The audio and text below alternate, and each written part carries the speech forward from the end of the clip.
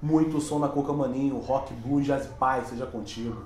Meu nome é Evandro Oliveira, para quem não me conhece. Bom, infelizmente, muitos hoje têm sido enganados na busca por um tutor musical. Eu tenho visto e ouvido nas redes sociais, em grupos de zap, é, a respeito desse assunto.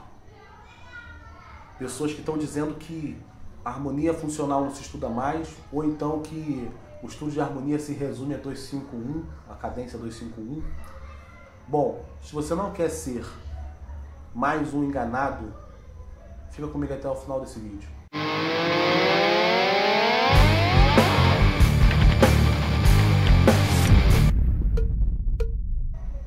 Primeiro, a gente precisa deixar bem claro que não é porque o cara toca numa igreja grande, no ministério de louvor grande, que o cara vai ser um bom professor ou porque o cara acompanha um artista famoso, ou trabalha no estúdio, faz muitas gravações, isso não te garante que ele vai ser um bom professor.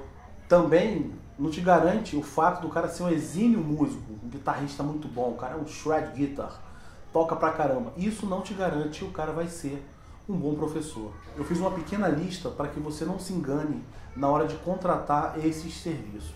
Essa lista ela é bem simples, é uma lista direta. E se o profissional não atender a esses simples quesitos, você pode descartar sem pena. O primeiro ponto da minha lista é didática e metodologia. Bom, qual é o material que esse professor utiliza? Esse material, ele mesmo que criou esse material, ele estudou por esse material, esse material de algum famoso que ele utiliza nas aulas dele e ele conhece bem esse material é muito importante que ele conheça bem o material, né? É, você tem que perguntar isso para esse professor. E mais, você precisa pedir para ver o material. Tá ok? O segundo tópico é a cronologia. Esse material a ser estudado segue uma ordem cronológica? Você precisa perguntar isso para esse professor. É, se a gente for exemplificar,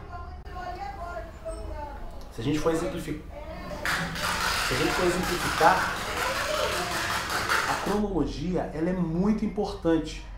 Na escola você não vai aprender a multiplicação antes de aprender a adição. Por quê? Porque uma operação auxilia na outra. Um exemplo, 3 vezes o 2. O aluno já sabe a adição, ele pensa 3 vezes o 2. 3 vezes 2 é igual a 2 mais 2 mais 2. Ah, então 2 mais 2, 4. 4 mais 2, 6. Então, 3 vezes o 2 igual a 6. Então, assim, é muito importante a cronologia. Eu conversei com um aluno que tinha acabado de chegar para fazer aulas comigo. Ele vinha de um outro professor e ele chegou a fazer quatro ou cinco aulas com esse professor. E eu pedi para ver o material desse aluno. E o aluno me mostrou o material e beleza, na primeira aula o cara passou para ele o desenho mais comum da pentatônica, né? Mostrou, tocou como executava o exercício, dentro daquela escala. E pô, legal, até aí tudo bem. Na segunda aula, o cara passou para ele umas frases com arpejo. Na terceira aula, passou três desenhos da escala maior. E na quarta aula, ele passou um, um solinho lá, que eu nem lembro qual que era o solo. Então, tipo, cronologia zero, né?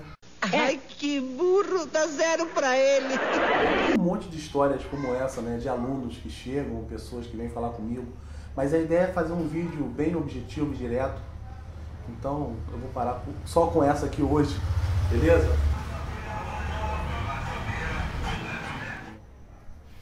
Existem muitas outras formas de você identificar um bom professor. A paciência, a dedicação, se bem que isso você só fica sabendo depois que já está fazendo aula com o cara, né? Mas é importante que você observe isso também. É, você tem que pode olhar também para os alunos dele, os alunos atuais, os ex-alunos. Esses caras tocam bem? Se bem que tocar bem ou mal também é muito subjetivo. E saber se o cara toca bem ou mal pode envolver critérios de avaliação que talvez vocês não tenham. Terceiro ponto, muito importante, é o seguinte: o seu professor precisa saber de harmonia. Ah, mas eu quero estudar guitarra solo. Para você aprender guitarra solo, você tem que entender de harmonia. Um exemplo rápido: Se eu te dou dois acordes, te dou o acorde de Dó sustenido menor e o acorde de Ré maior. Faz um solo aí agora, tem dois acordes. Qual é o tom desse, dessa música? Então você precisa saber bem de harmonia para você poder improvisar. Não é só pegar qualquer escala e sair tocando. Então o seu professor precisa saber bem de harmonia. E outra coisa, ele precisa pelo menos arranhar uma partitura. Pelo menos arranhar, não é saber ler partitura, mas tem que saber pelo menos um pouquinho. Isso aí é assim, uma, são critérios básicos para você identificar um bom professor. Se o seu professor, de forma resumida, não tiver a metodologia didática, não tiver cronologia, não souber, não souber harmonia e nem um pouquinho de nada de leitura, pelo menos, eu te garanto que o seu resultado não vai ser satisfatório. Você não vai atingir as suas metas como músico ou como aprendiz da música. Então, é, tenta seguir pelo menos esses quatro pontos e questione esse seu futuro professor para ver se ele tem essas habilidades, se ele tem esse conhecimento. Você fazendo isso, tenha certeza que você vai estar se afastando dos charlatões. Aquelas pessoas que, infelizmente, sabem muito pouco e já querem ser professores. E aí eles fazem o que? Eles te ensinam de forma errada. Te passam meias verdades.